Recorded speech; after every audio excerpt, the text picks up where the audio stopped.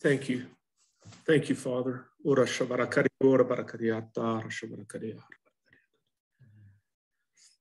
The Father would say to you, children, do not be afraid.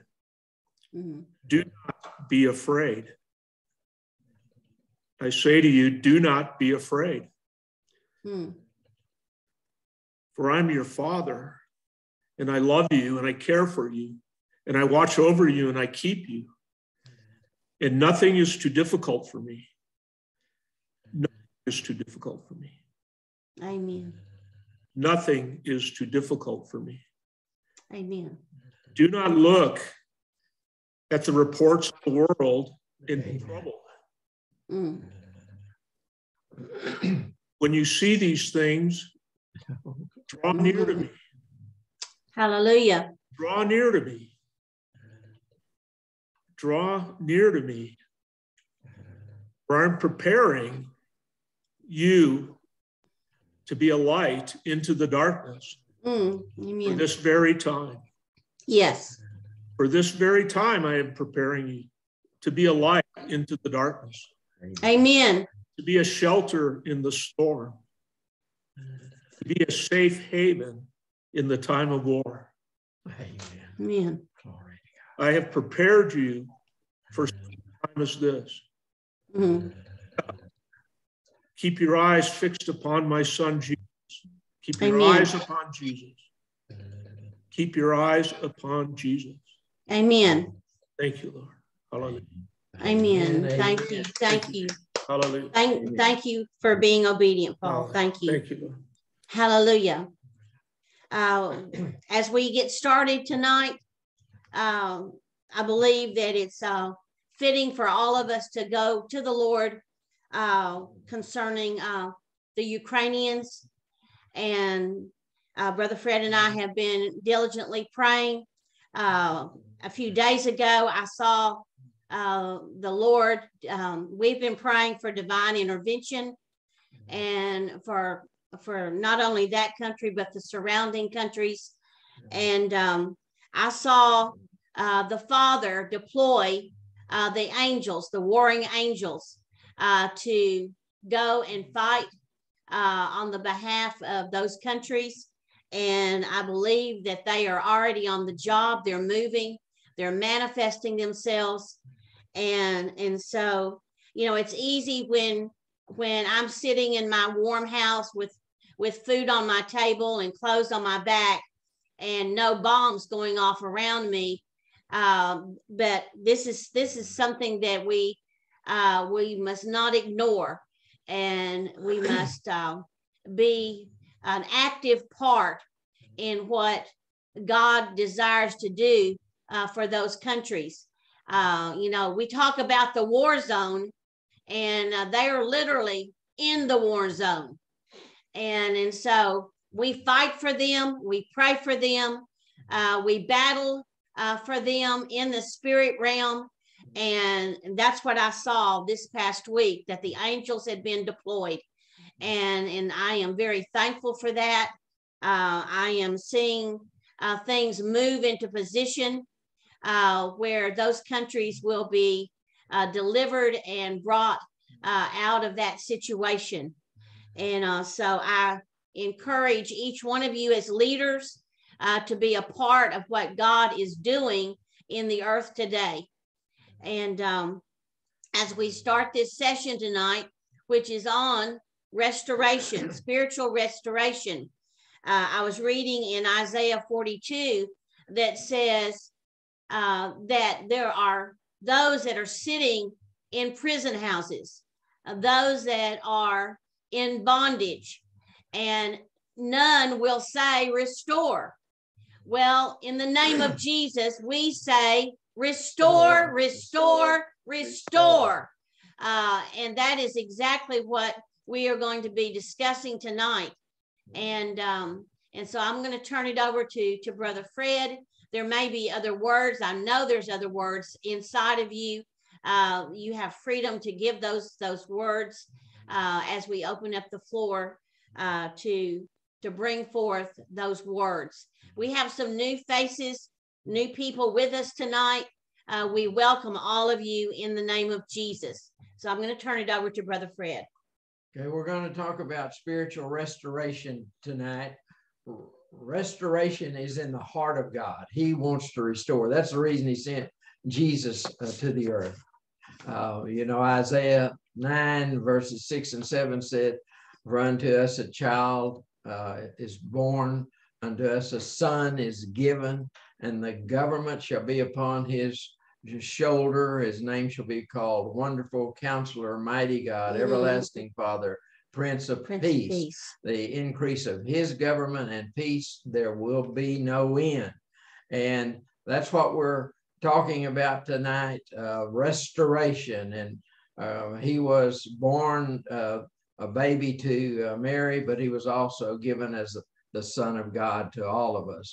I want to, to think about restoration and spiritual restoration, and the basic uh, uh, verse for this is Galatians 6 1, which says, You who are spiritual, mm-hmm. restore and that's speaking to each of you.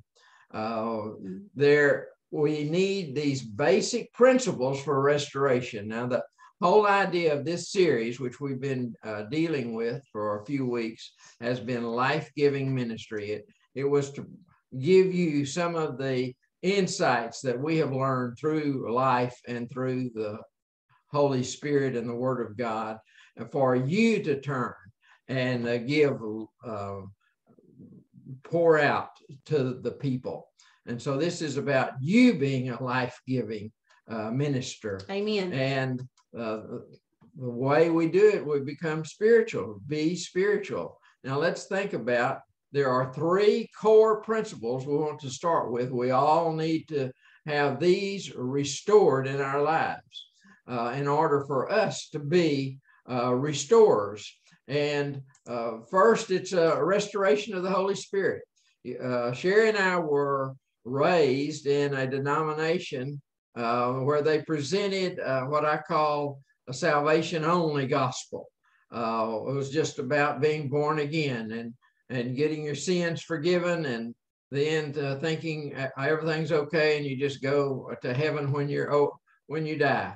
Well, that's a, a limited view of the gospel. Mm-hmm. And when we ran into problems uh, with our lives, uh, we had to turn to the Lord and, and to seek Him. And we found out the first thing we needed was the Holy Spirit. Amen. And uh, there are, we found out there are a lot of other people that believe in the Holy Spirit. And so the point I want to make here, this is the first area of restoration, is a a strong relationship with the Holy Spirit, with the Holy Spirit. And uh, if we want to be uh, spiritually minded, it has to come through the Holy Spirit.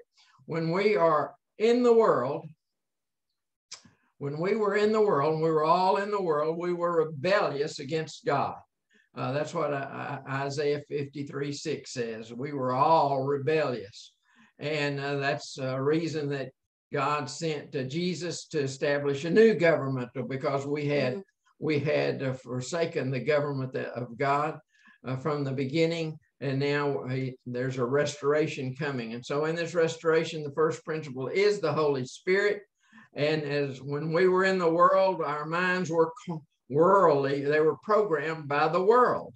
And when we mm-hmm. became born again, uh, we still had the same mindset. And so it was because it was called a carnal mind. So many, many Christians have a carnal mind, but Romans 8, mm. uh, verses 6 and 7 said, to be carnally minded is death, but to be spiritually minded is life and, and peace. peace. Amen. For the carnal mind is hostile to God and cannot uh, submit to God, cannot be subject to God, cannot be.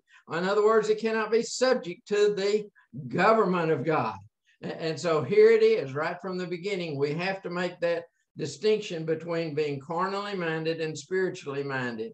And I want to encourage all of you to keep on that road of continually being renewed in your mind, spiritually minded, for you are the ones that are going to restore. Hallelujah. Carnally minded people are not going to restore anybody or anything but spiritually minded people uh, are able to restore. And so that's the core of this uh, message tonight. Uh, we need to be spiritually minded uh, to be uh, restorers. Uh, and re- to get restored in our lives, anything that has been broken, anything that has been diminished or stolen, to restore those things, but not only in our lives, but in the lives of others. You are one who restores. Hallelujah. You who are spiritual uh, are the ones who restore uh, anything diminished, broken, or stolen. Mm. And it's going to be by the Spirit of God. And so there's three different areas then uh, that we need the Holy Spirit in, in all of these areas. And the first one is restoration of the Holy Spirit. And uh, First Corinthians 12 say, says that all of the gifts talking about restoration of the gifts of the Spirit, they all come through the manifestation of the Holy Spirit, Amen. through the Holy Spirit. Now, the second, I've mentioned it a couple of times, is about a re- restoration of God's government, that we Mm. submit to God's government, because Jesus, see, came Mm. to bear the government upon his shoulder, and we had all rebelled against God's government, and now it's time uh, to come back under God's government. And we see a real important picture in First Corinthians 12, verses uh, 28 and 29. It says, There is a government, and the first there are apostles, and second there are prophets, and third there are teachers, Teachers. and then the signs and wonders. And, and so, if you're going to operate in the gifts of the Holy Spirit, then you need to be involved in the government and submitted to the government. James uh, you know, six and seven, uh, seven says, submit to God. Mhm. Hallelujah. Six says, uh, he resists the proud. God resists the proud, but he gives grace to the humble. Amen. Therefore, submit yourself to God, resist the devil, and he, He will, will flee flee from from you. Glory to God. So you want to see the, the gifts in operation, you've got to be a part of his government, submitted to his government, and first are apostles, and second are prophets, and third are teachers, and after that, the signs and wonders. And see if you're not uh, connected with uh, apostles and prophets and teachers, then uh, you don't get to operate in the fullness of the gifts of the Spirit because they come after. They're a part of the government Mm. uh, and, and a unique place and position in uh, God's government. You know, what is restoration anyway? It's bringing things back to, to the position that is right, to their rightful position, Position. and their rightful condition. And the right hallelujah. condition, that is restoration. And we're going to have to be restored ourselves and first restored to the Holy Spirit. And that's what we're, Sherry and I were missing uh, to begin with because we were uh, in a denomination that just believed in a salvation only gospel. And Then we embraced the, the, uh, uh, Holy Spirit, and there were found out there were a lot of people that embraced the uh, Holy Spirit, and that was called the full gospel. Uh, but let me tell you, there there's more than the full gospel. Hallelujah. There's the kingdom gospel. Amen. And uh, the third thing we have to recognize is there is a kingdom gospel. There's a message, uh, and that's the fullness of God's message because Jesus said, I, have come to preach the kingdom. He, he Mm. went in uh, Matthew 4, verses 23 and, and uh, chapter 9, verse uh, 35. He, he went from city to city. Uh, teaching and proclaiming the gospel of the kingdom and demonstrating the kingdom with healing, healing every sickness and healing every disease. And so, if you restore, if you restore, if you have restoration in your own life and you bring restoration to other people, then, then you need to embrace the message, the fullness of the message, which is the gospel of the kingdom. Because Matthew 24, verse 14, Jesus said, This gospel of the kingdom will be proclaimed in all, the, nations. Glory to God. Can you imagine? You're talking about the nations that are in the news today. You think about the gospel of the kingdom, is going to be proclaimed in all of those nations, all the nations, and then the end Shall will come. come. So it's not going to be without the full gospel, and I mean by that the gospel of the kingdom. And uh, that's what Jesus told his disciples in uh, Matthew verses uh, Matthew 10 verses 7 and 8, he said, Go and proclaim uh, the kingdom is at hand. It's here. It's here. That was his message. The kingdom is here. You know, we don't have to look for it over there. We don't have to look for it over there. It's here. It's within our reach. And what is the kingdom? It's the realm of the Holy Spirit, the supernatural Hallelujah. realm of the Holy Spirit, where impossible things are possible, Hallelujah. where miracles occur, because the kingdom of God is not meat and drink, but righteousness, peace, and joy in, in the, the Holy Holy Ghost. Ghost. Amen. Holy Ghost, glory to God, the Holy Spirit. So it's the realm of the Holy Spirit. And you, to be spiritually minded, you have to be operating in that realm because the carnal mind cannot be subject to God's government.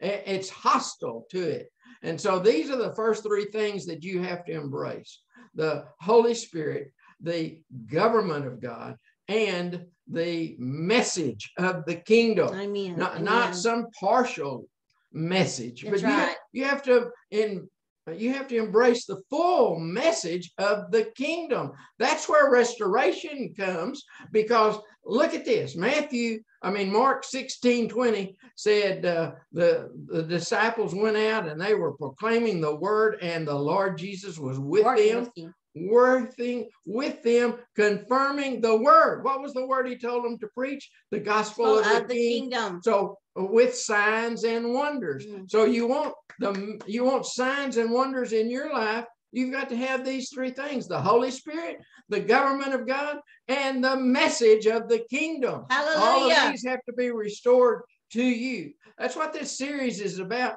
About you giving life uh, ministering life to other people. And you're going to have to embrace these three things. These are the core things.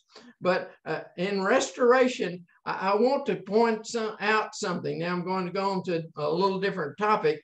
Uh, um, in restoration, there's something that when God makes a promise, he expects something from you. And when he makes a promise to you or to someone else, about restoration. That's what we're talking about. Hmm. We're talking about restoration tonight. How do we get it operating? So these these are the application.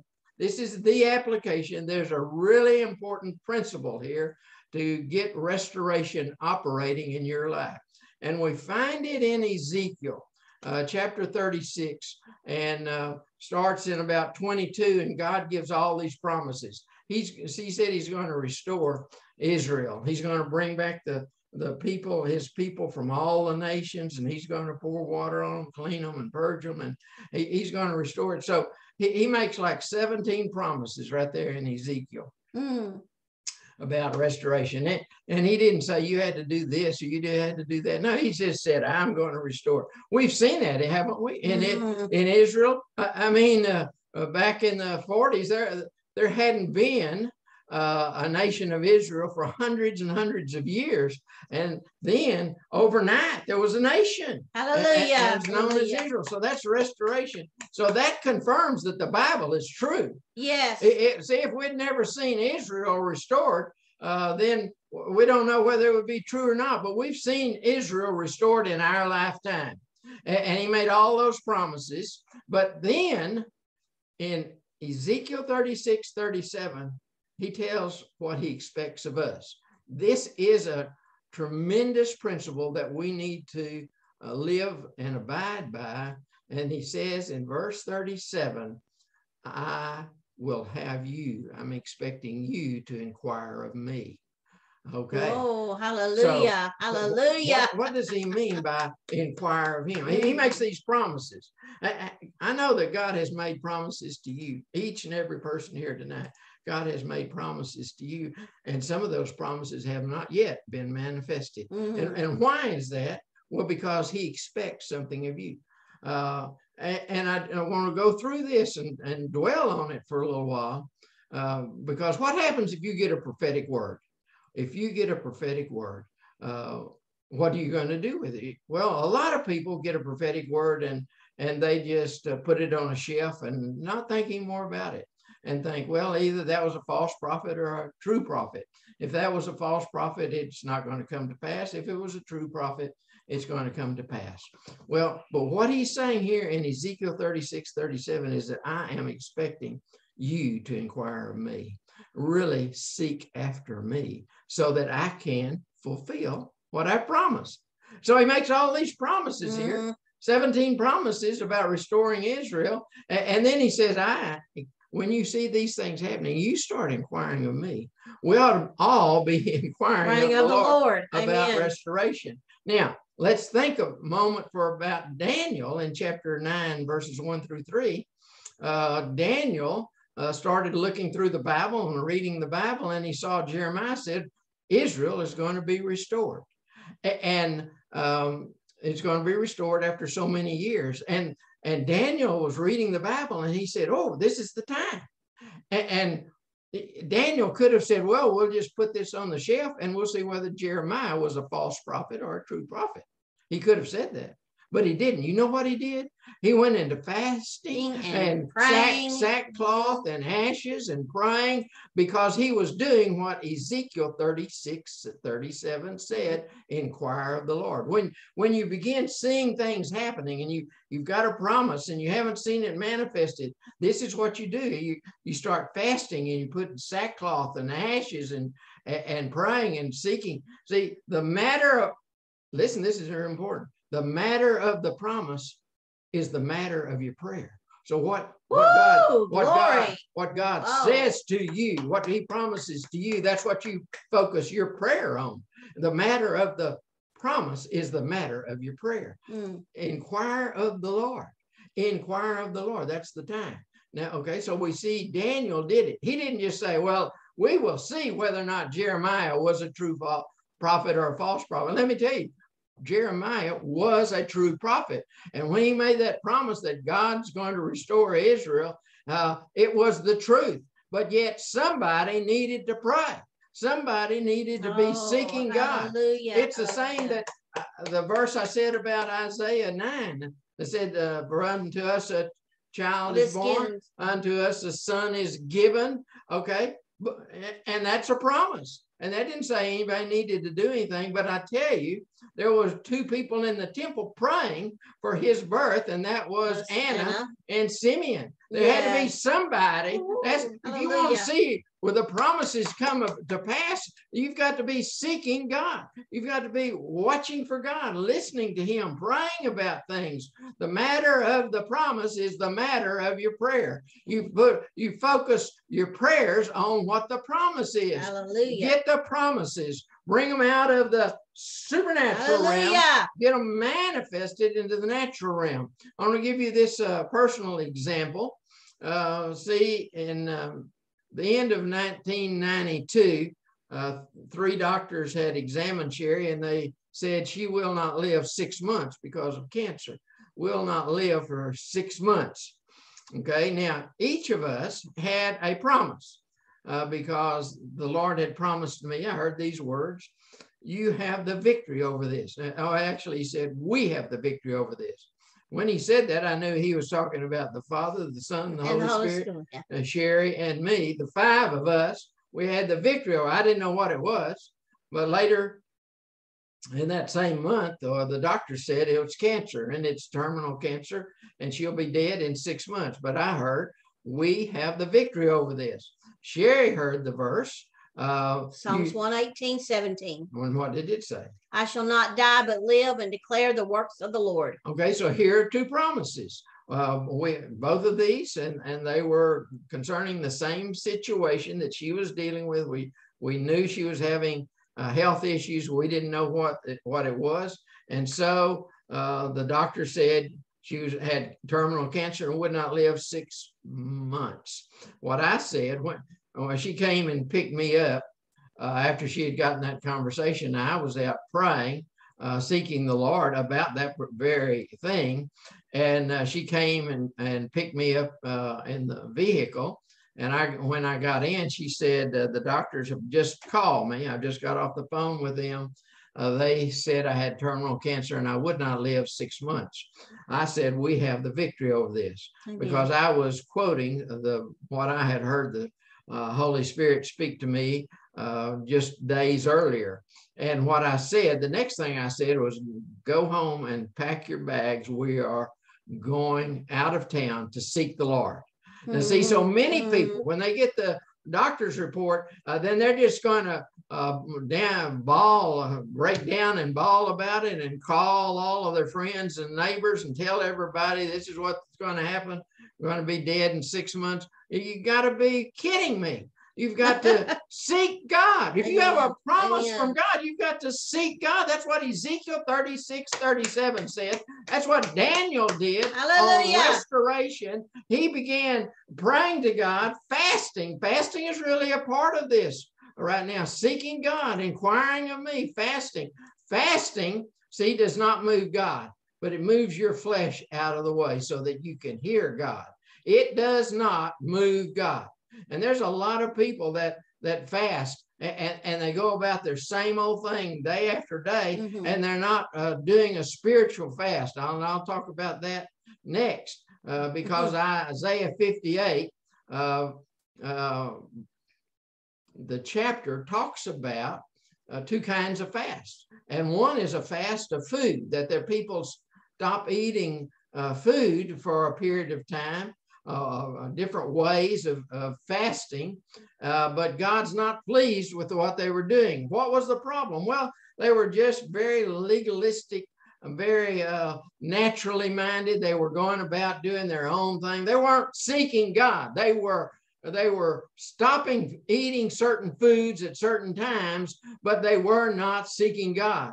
And, but there was a spiritual fast, and that began in Isaiah 58, verse 6. Mhm. And it said, Is not this the, the fast? fast This is a spiritual fast to loose the bands of wickedness, to undo the heavy burdens, to let the oppressed, Oppressed go free. and that you break every, Every yoke. yoke. Hallelujah. So there are two kinds of fast. And I'm not, I'm not uh, partial to just fasting food without seeking God. I, as a matter of fact, I think it's a waste of your time. You might lose some weight doing that, but you're not going to uh, have an encounter with God if you're going if you're going about doing your own agenda, doing your own thing, and, and- thinking the way you've always thought. it, has got to be a change. There has to be change in you, a spiritual fast.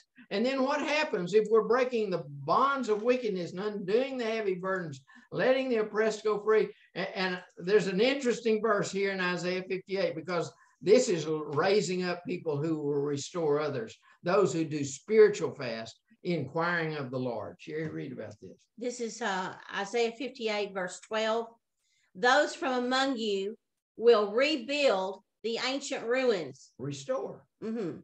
You will raise up the old age old foundations, restore, and you will be called the repairer of the breach, restore.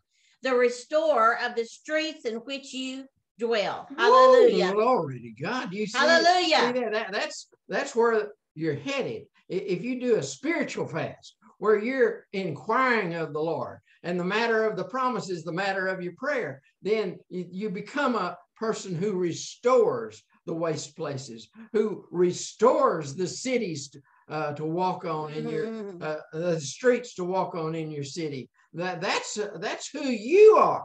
That's who you are. You are called to be a restorer of the streets to dwell in and walk in, and, and the repair of the breach. And the re- you are the restorer. You're the one giving life to other people. Yes. And so, how do we do it? Well, I've talked about the three restoration things uh, uh, restoring to the Holy Spirit, restoring to the God's government, submitting to his government, and restoring to the full message of the gospel of the kingdom. Mm. And, now I'm just bringing this to uh, closure that it's this concept of a spiritual fast of seeking God. You get a promise, you you seek God about it. The same thing is in Joel. This is the third and final passage that I'll focus on. And, and in Joel, we see the canker worms, the, all kinds of worms are eating Mhm. everything. And so the things have been destroyed and been diminished. And, and, and what does God say? He said, call a fast. Call a yes, fast. a solemn assembly. A solemn assembly. Blow the trumpet And in Zion. Zion. Why? Why? Because they're wanting restoration. They're wanting restoration. It's about fasting. And, and why is that? Because the matter of the promise is the matter of your prayer. You focus on the promise. What uh, what is going to happen to get a restoration and so that we have the promise manifested in our life and this is what uh, uh, the prophet says in the book of joel and he said in uh, joel chapter 2 verse uh, 28 he said i'm going to pour out my spirit, Spirit Woo-hoo, because upon we're all talking flesh. because we're talking about spiritual restoration. I'm going to pour out my spirit upon all flesh. And, oh, Mm, hallelujah. Hallelujah. And your old men are going to uh, see some uh, dreams, and your young men are going to uh, See see visions. That's me. Uh, hallelujah. And the, your children, your children are going to prophesy. Glory to God. Aiden's going to prophesy. Yes. Hallelujah. Little children, little children are going to prophesy because this is spiritual restoration we're talking Amen. about. Amen. And, and Joel in chapter one, it was destroyed, it was desolate. A- And, then God uh, says, Well, seek me, call a fast, uh, blow the trumpet, in Zion. And what am I going to do? I'm going to pour out of my spirit on all flesh. Same thing in- in Hallelujah. Acts chapter 2, pouring out his spirit upon all flesh because God's heart is for restoration. And, it's going to take restoration is going to take the spirit of God and, and, and embracing the spirit of God. And then the gifts come forth, and, and, and there's embracing uh, the government of God by the spirit of God and embracing the message of the kingdom gospel. And so you are called and equipped to Amen. become a restorer of the breach. Hallelujah. And, and a restorer of the streets to dwell in. This is not just a little things we're talking about here. I want Sherry to read this verse again in Isaiah. This is not, these are not insignificant things that are going to be restored. Uh, I'll ask Sherry to read that verse again. Those from among you will rebuild the ancient ruins. You will raise up the age old foundations, and you will be called the repairer of the breach, the restorer of the streets in which to dwell. Hallelujah. That is you. That's your calling. And Amen. I've shown you how to get there today. And I want to say thank you for coming. Thank you for listening. Mhm. Thank you for being a part of this. This is an important message. This is this is showing your calling. This is revealing your calling of what God is expecting. God is laying out promises to you, uh, one after another, uh, one upon uh, line upon line, here a little, there a little. He's laying out these promises, and He wants you to bring them forth, manifest them on the earth Amen. uh, today. And so I'm going to turn it over to. Sherry. Amen. You know, each and every day, Brother Fred and I pray about the restoration uh, for good government, uh, good government in this nation, good government locally, uh, good government in whatever state you might be in, uh, and the just that restoring uh, of good government. And it says that if we have good government, then we will have a peaceful life. And if you want a peaceful life, then you need to be praying that that government uh, locally nationally in your state uh, will be restored. And we have seen restoration in our family. Uh, our, our son jason uh, now has uh, a bank account that has enough money uh, for buying a house. Uh, about a year or so ago uh, well four years ago he was sitting in jail. Uh, they were talking eight years in prison. Uh, and, and the Lord spoke to me and said, I'm going to restore everything that the enemy has stolen from him.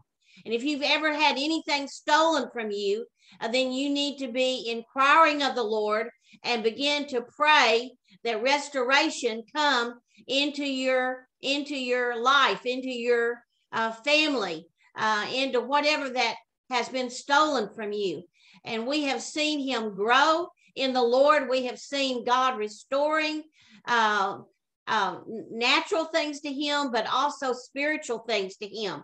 Uh, and so when we get together, we talk about the Lord. Uh, we talk about what God is doing. And uh, and four years ago, that wasn't the case. And so I know that my God is able uh, to restore. Uh, he's able to restore your health. He's able to restore your your joy. You know, King David said, "Restore uh, the joy of my salvation." I believe that King David knew about restoration, and I believe every leader in the kingdom of God needs to know not only about restoration, but that you are a restorer of the breach, things that have been broken, things that have been stolen, and and things that have been lacking. Uh, that this is this is part of your your calling. What are you called to? I'm telling you tonight. We're telling you tonight that you are a restorer of the breach. Hallelujah. And so this is an exciting time. The Lord has poured out his spirit upon all flesh and and what the worms have eaten up i believe that god is bringing uh, full uh, restoration uh, to your health uh, to your your mind to your finances some of you've had m- money stolen from you uh, that the enemy has eaten up uh, some of your your enthusiasm and your energy and and your your passion for doing things of god uh, all of that is being restored uh, in the name of Jesus. And, uh, and so I pray that you will take hold of this message uh, and, and go forth and, and begin to do it. I see, I see the, the children that are represented here, uh, your grandchildren, and I see little uh, Aiden, and I see uh, Annie and, and, and Victoria, Tori.